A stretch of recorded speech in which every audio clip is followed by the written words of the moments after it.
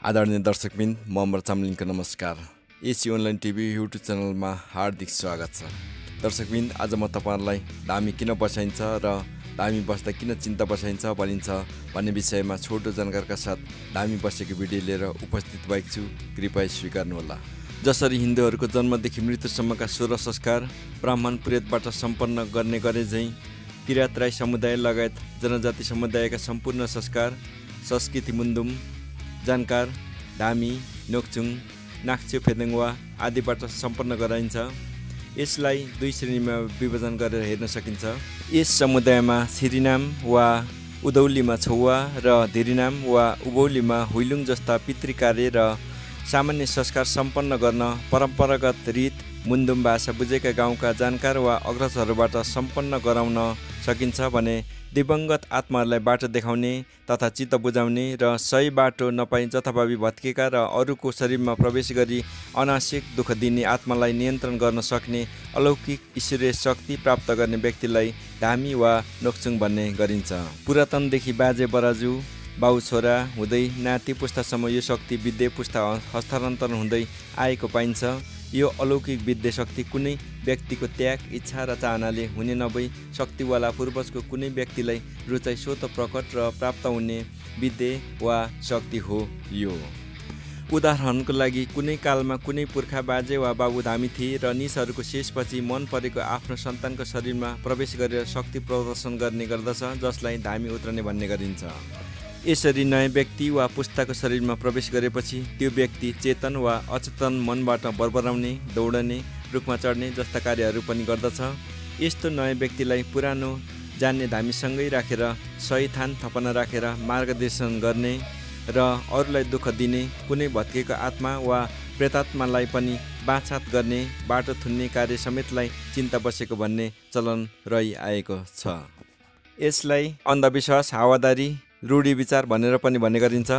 आजको आधुनिक जमानामा हाम्रा पूर्वजहरूले परम्पराको रूपमा मान्दै आएको कुरालाई आँखा चिम्लेर मान्नुलाई अर्थात् अन्ध भएर विश्वास गर्नुलाई अन्धविश्वास भन्न सकिएला तर यो कुरा तथ्यमा आधारित छ छैन भनी अध्ययन अनुसन्धान नै नगरी हावाकै भरमा यो हुनै सक्दैन यो गलत हो यो अन्धविश्वास हो भन्नु पनि अझ अन्धविश्वास र गलत ठहर्छ। आज विज्ञानले पनि यस्ता अलौकिक रहस्यलाई अध्ययन अनुसन्धानको विषय बनाउँदै आएको छ। विज्ञान र भौतिकवादीहरूले हरेक कुरामा तथ्य र प्रमाणलाई आधार मान्ने भए तापनि आध्यात्मिक दुनियाँमा यस्ता कयौँ रहस्यमय कुराहरू छन् जुन विश्वासको मनोविज्ञानमा आधारित छ।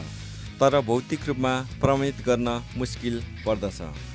ढुङ्गालाई देउता भनेर विश्वास गर्ने हामी जुन विश्वास गरिन्छ त्यो विश्वास दृढ हुनुपर्दछ। हाम्रो हृदय मन मस्तिष्कमा जुन कुरामाथि विश्वास श्रद्धा आस्था र भरोसा गर्नु नै आफूमा सकारात्मक ऊर्जा प्रवाह गर्नु हो। जुन मान्छेमा जीवनप्रति दृढ विश्वास र भरोसा राख्दछ उसले जीवनमा उजेलो देख्दछ। आस्था र विश्वासले जीवनबाट नकारात्मकता हटाउँदछ। यसै कारण धामीको अलौकिक शक्तिप्रति पनि अन्धविश्वास हावा नभनी यसको गहिरो अध्ययन गरी यसप्रति दृढ विश्वास जगाउन जरुरी छ।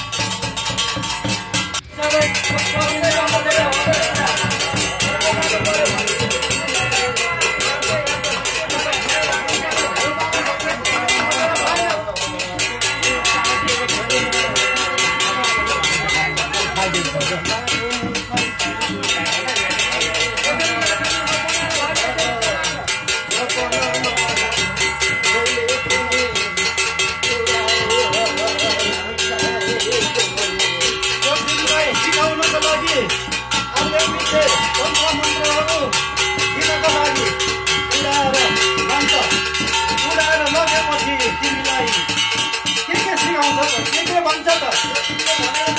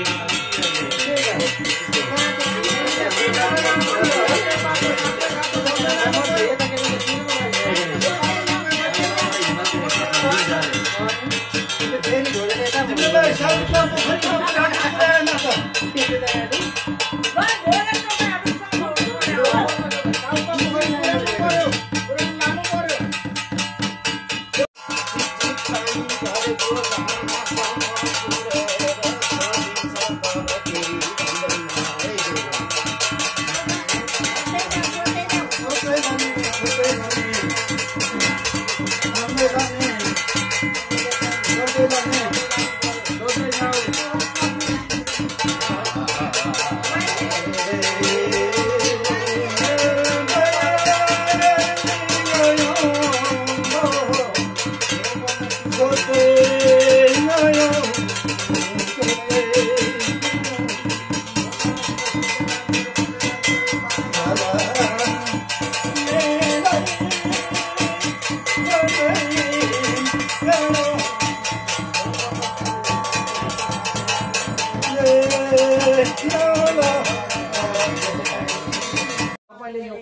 सबै दिमागमा राखेर त्यो कुरोहरू सम्झेर जानु भने तपाईँले सरासर बाटोहरू लाग्नु